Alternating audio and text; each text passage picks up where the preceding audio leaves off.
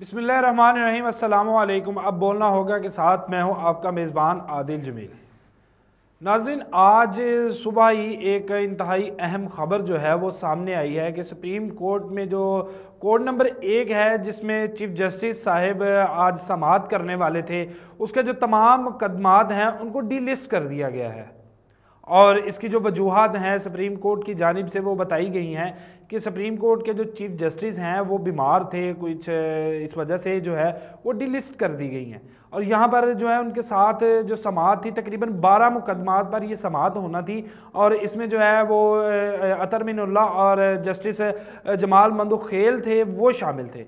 लेकिन यहाँ पर बताता चलूँ कि इस बीमारी को हमेशा की तरह जब हमारे सियासी लोग हैं, उन्होंने अदालत को इस कदर सियासी, हमारी अदलिया को इस कदर सियासी और मुतनाज़ा बना दिया गया है कि हम लोग अगर बात करें सियासत की या अदलिया की तो हम तनकीद करना जो है वो अपना हक जानते हैं।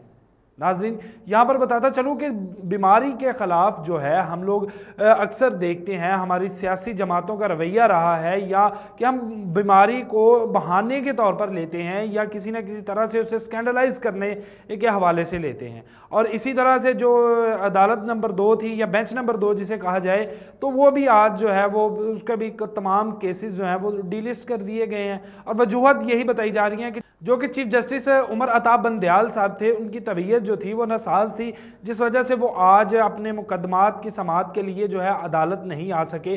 लेकिन इसको इस कदर जो है भयानक सोशल मीडिया पर पेश किया गया या इस कदर तंज के जो तीर हैं, वो बरसाए जा रहे हैं कि खुदा ना खास्ता पता नहीं आज की समाज जो है, वो क्यों इस कदर मुतनाज़ बना दी गई। आज के जो बारह मुकदमात थे, जिनमें की समात आज होना थी, क्यों इस कदर मुतनाज़ बना दिए गए कि चीफ जस्टिस के ऊपर, इस कदर उनकी बीमारी के ऊपर जो है एक एक गलीज प्रोपागंडा जो है, वो किया जा रहा है। नाजिन यहाँ पर बताता चलूँ कि इलेक्शन के हवाले से जो समात थी, वो कल है।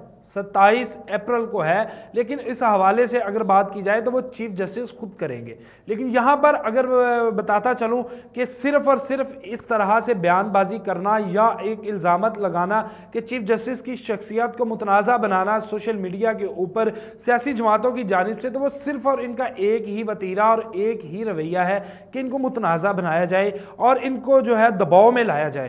ताकि दबाव में लाने के बाद जो कल एक अहम समात होने जा रही है जिसके बाद इलेक्शन के हवाले से अगर बात करेंगे तो एक मतला जो है वो काफ़ी हद तक साफ़ नज़र आएगा।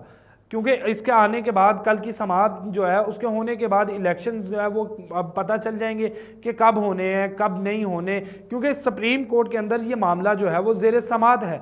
लेकिन आज जो है, चीफ जस्टिस ऑफ़ पाकिस्तान की तबीयत जो है, वो ना साज है, लेकिन उन्होंने आज समात नहीं की या आज उन, वो अदालत नहीं आ सके।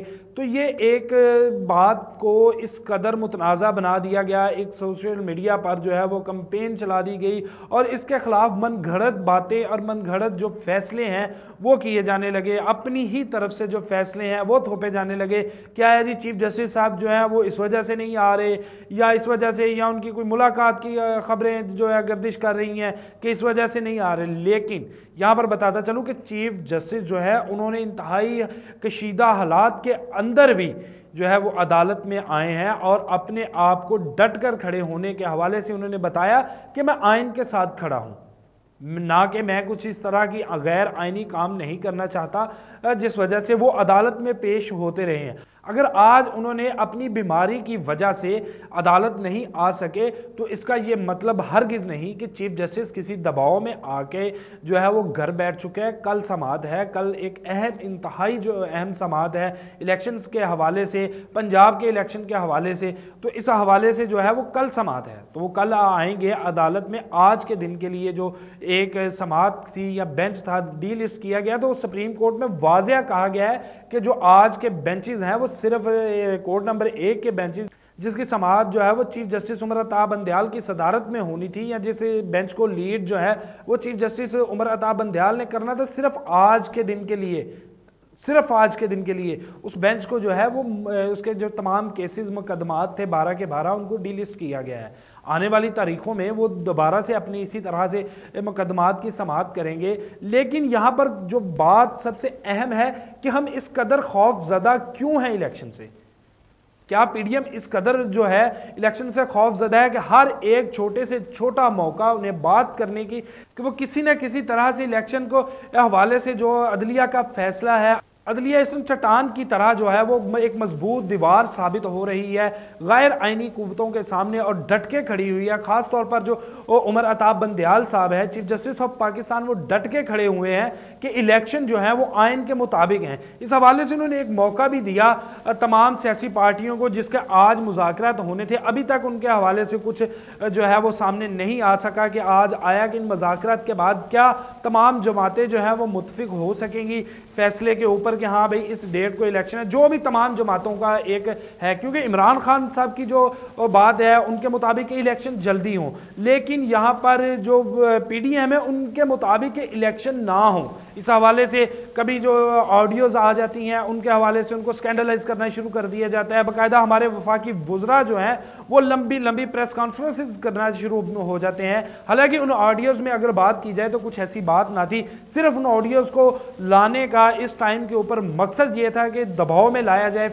फैसले के ऊपर जो नज़रसानी की एक दरख्वास्त है वो दायर की जा सके ताकि जो इमरान खान के हवाले से या ताकि इलेक्शन के हवाले से जो सुप्रीम कोर्ट जो वो डट चुकी है और आइन के साथ, आइन के मुताबिक नब्बे रोज़ के अंदर इलेक्शन जो करवाना है, वो करवाने के लिए अदलिया जो है, वो अपनी तमाम तर कोशिशें आइन के अंदर रह के आइन के अंदर रह के वो तमाम तरह कोशिशें कर रही है। लेकिन यहाँ पर उनको इस कदर मुतनाज़ा बनाया जा रहा है, इस कदर उनकी बीमारी का, क्योंकि अगर देखा जाए तो वो किसी की बीमारी के ऊपर भी अगर हम मज़ाक करते हैं या उस बीमारी पर तनकीद करते हैं तो फिर हम इंसानियत के एक दर्जे से नीचे जा चुके हैं। हम इंसान हैं और अगर किसी की बीमारी की, हम किसी बीमार की मज़ाक पुरसी नहीं कर सकते तो कम अज़ कम उसके लिए हम जो है तनकीद भी ना करें। बीमारी है और वो अल्लाह ताला की तरफ़ से आती है। हम लोग भी बीमार होते हैं। लेकिन यहाँ पर एक बीमारी को इस कदर मुतनाज़ा बनाकर एक गलीज प्रोपागंडा जो है वो सोशल मीडिया पर किया गया ताकि एक जो बयानियाँ बनाने में काम आ सके और किसी न किसी तरह से जो है अदलिया को एक ही बात में बार बार हम लोग करते हैं, मैं भी यही बात करता हूँ कि अदलिया को जो स्कैंडलाइज करने का मकसद सिर्फ़ ये है कि अदलिया को दबाव में लाया जाए? उनको दबाव में ला के उनको किसी न किसी तरह से इस कदर प्रेशर राइज किया जाए ताकि वो जो है इस वक्त की हकूमत के मुताबिक जो हकूमत चाहती है उस हवाले से फैसला दे सके।